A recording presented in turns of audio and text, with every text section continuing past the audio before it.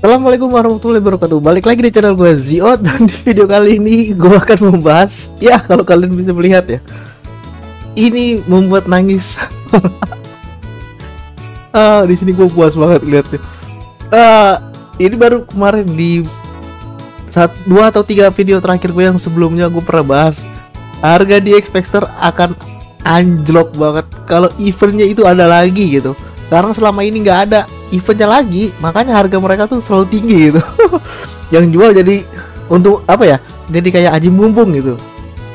Nah lo begitu pas gua ngelihat hmm Perasaan kemarin ada yang bilang mau gue Bang coba lu lihat di channel asal apa Bimo channel bang ada ada apaan gitu.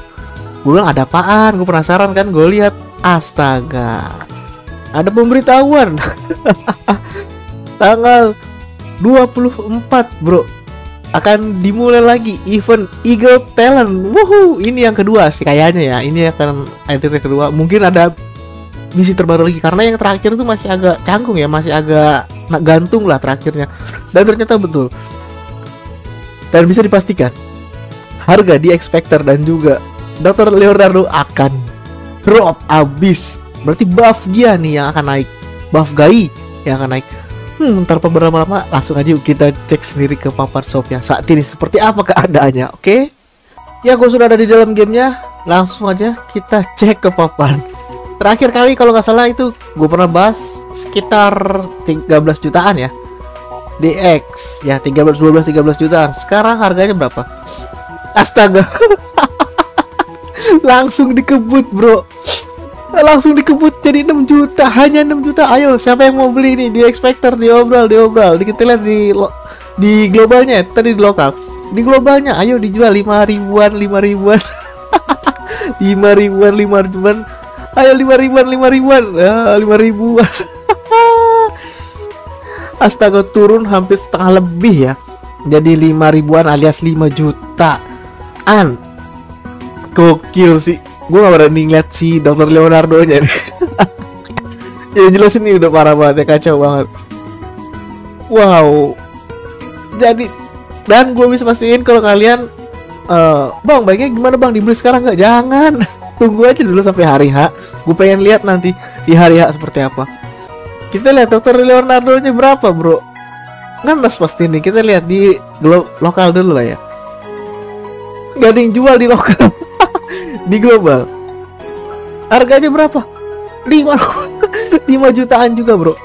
Berarti bener ya turun drastis ya. Ini nih ngejar target nih kayaknya nih yang satu dua tiga empat.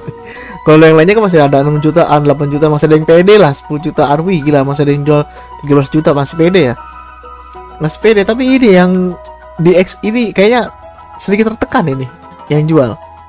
Ya. Oh, tapi masih masih pada pede loh. Ah iyalah masih tiga hari lagi. Ah masih masih cukup waktu lah siapa tahu nih masih ada yang beli gitu.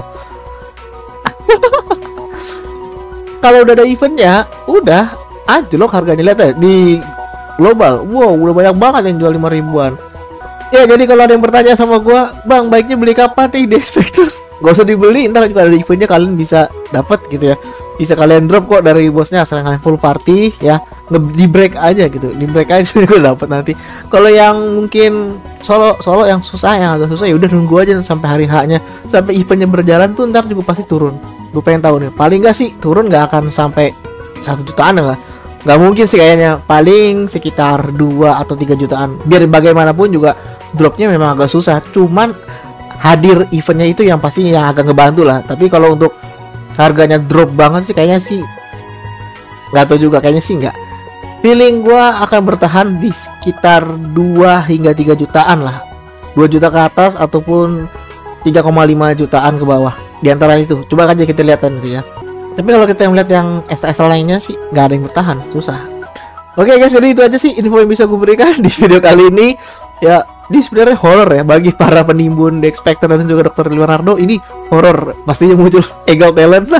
Setelah dua tahun dua tahun sudah berlalu muncul lagi Eagle Talent. Nah lo ya nah lo nah lo. Kalau gue sih lebih menunggu boganya bro. Boganya.